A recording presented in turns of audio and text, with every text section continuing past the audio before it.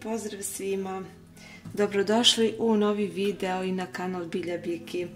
Uzimamo jednu šerpu, e, stavljamo na jačinu šporeta, 6 od mogućih 10. Uzimamo 200 ml slatke pavlake. To sipamo i čekamo da lepo proključa. Nećete da verujete šta pravim. Pravim jedan lep E, kolačić, jedne lepe kokos loptice kao mm, Rafaelo kuglice.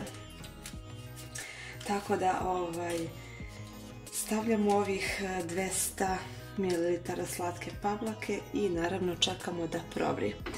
Kada se to desi, onda ćemo da stavimo oko 200 grama bele čokolade i nakon toga e, dodajemo E, kokos e, oko 100 grama, pošto ćemo malo ostaviti za preko loptice kada budemo htjeli da onako uvaljamo. Tako da, otprilike 100 grama kokosa ovdje ide.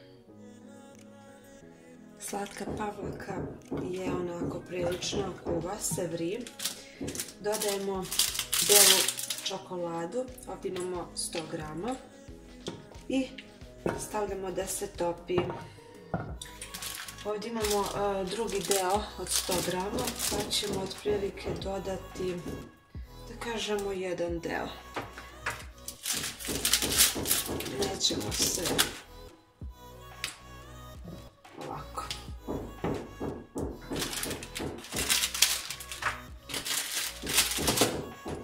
I ovo ćemo naravno da mešamo i čekamo da se rastopi.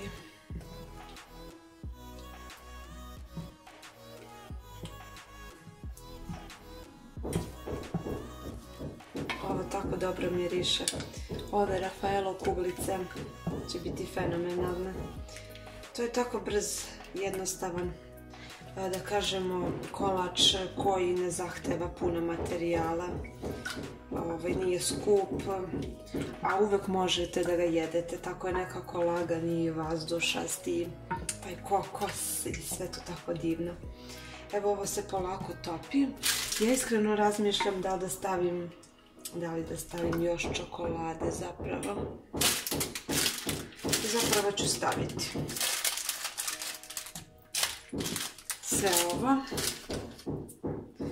Tako da sada ovo sve mešamo.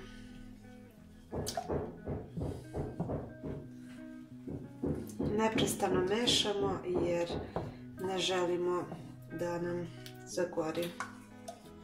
Naravno šporet možemo da ugasimo jer je dovoljno topla ringla. I ovo će se sada evo za koji minut lepo rastopiti. I u tu tečno stanje dodajemo oko 100 grama kokosa. I naravno ostavljamo da se hladi. Evo dodajemo kokos, sam kokos smo dodali i naravno lepo sve mešamo.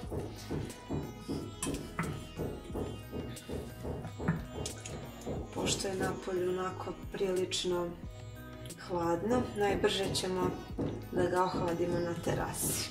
Ili možete čak u frižider.